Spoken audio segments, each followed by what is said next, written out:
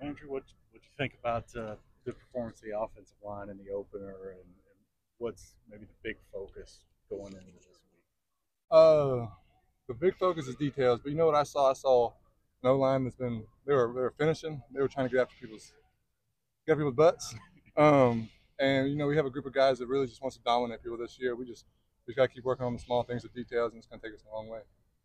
There were a handful of plays where the receivers were out there blocking their butts off as well and springing guys, tight ends as well. Yep. Is that fun for you to see as a guy who gets down in the trenches and gets gritty on every play? Once in a while, those receivers can do it too. Oh yeah, no, we watch film, we see our receivers doing that stuff. We love it. We, you know, it's something we've been needing for a couple years now, and our guys, they, like I said, we have an offense that wants to dominate people this year, and it, uh, we're getting our hands on people, we're running our feet, and we're trying to we're trying to mash people.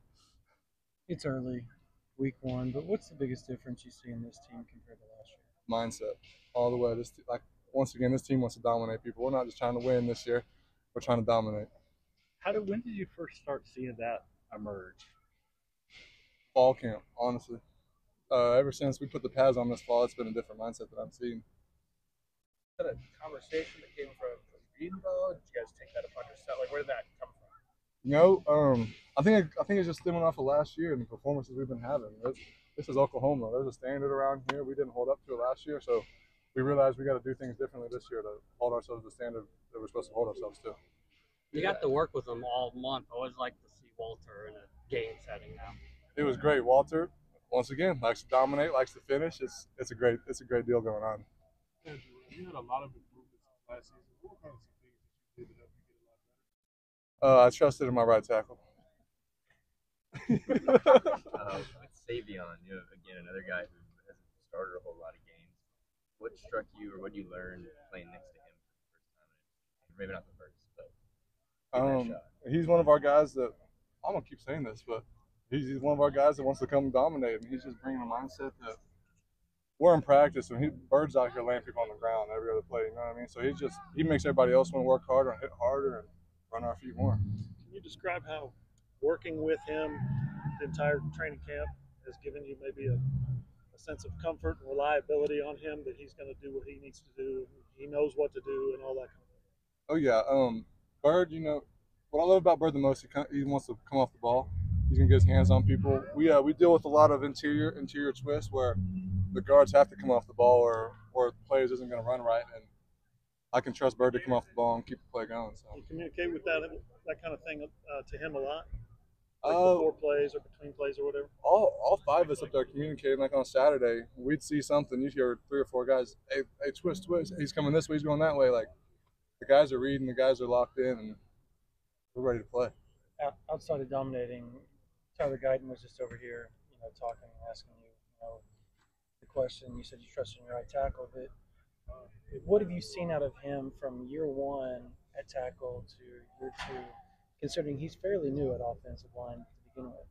Uh, I'd say Tyler's doing really good with his confidence. He's just, like you said, he's he knows more what he's doing now. He's not oversetting. He's uh, he's hands inside. He's got he's working on the details. All five of us got to work better on the details. But Guyton, he's just locking more and more into the small things, which is going to propel him to be great. Is he the most athletic offensive lineman you've ever? You know, oh, ever?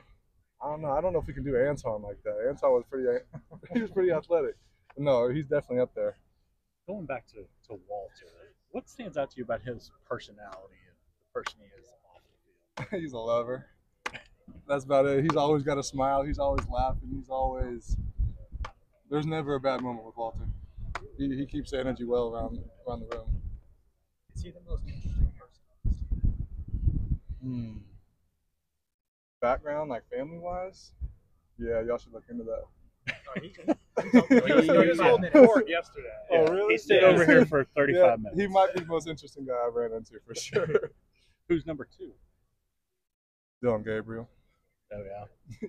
what about him usually stands out other than his I, am gonna keep it respectful on camera. but Dillon Gabriel. Okay, outside of like, he talked about I guess superheroes and all kinds of stuff yesterday. There's just a, Walter. He's into superheroes and all kinds of stuff. He, he's he's different, and so just eclectic as far as that. He's the most eclectic person on the team? I might need to go back to school. What's that word? Uh, I guess diverse, odd, different, Mm, in a good way, I guess. I'm not sure. I don't know if I really look at any of our guys as odd. I guess it's not really odd, but Caleb Shaffer's always walking around with like a, a book about this thick. That's Yeah, what yeah. book? I don't know, but it looks it looks pretty smart. Okay. You're not carrying around those books? Uh, not really. No. we got a whole bunch of them last night. What's the most interesting thing you've learned about Walter? His background or what he does in his free time? Oh, I think it's pretty interesting. that His mom can't tell him what, what she used to do. That's what we gotta look into. Shoot. Well, that or one of us gonna get in trouble. I don't even know if I knew say anything. Uh, we're- Eli's we're not gonna be here next week. Yeah, this is it for me. Said his aunt was in the State Department. Well, his mom's work. I'm, I'm, I'm out of it. I can't be part of it. Yeah, how do you keep an edge after a game like y'all had last weekend? Um, I mean, it goes back to it's our mindset this year. It's not like, it's not about our opponent. Um, no, like all respect to Arkansas State, but we do realize it was Arkansas State, and we didn't really prove anything. You know, we have a next game where we're playing against some better people this week, and it, we just got to go out there and keep doing what we know how to do.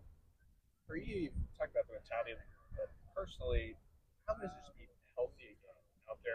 As healthy as you can be after a fall camp. Oh, it feels so amazing. I got two shoulders working, two ankles at work.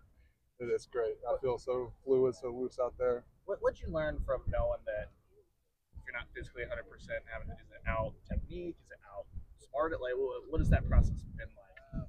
Uh, I think being tweaked a couple a couple times has just showed me that how small like the margin for error really is. Like you really can't you can't put yourself in a position to not have the competitive advantage. Like even if you're not hurt, you have to proactively be recovering your body, rehabbing, and make sure that you're strong, healthy, and not putting yourself at risk to be hurt. So it just taught me to be that I gotta be better with the small things and be proactive. So now healthy, able to put all that together and, and roll out there and look like you did on Saturday, basically. Yes, sir. Was it the You six gotta and head inside because of lightning.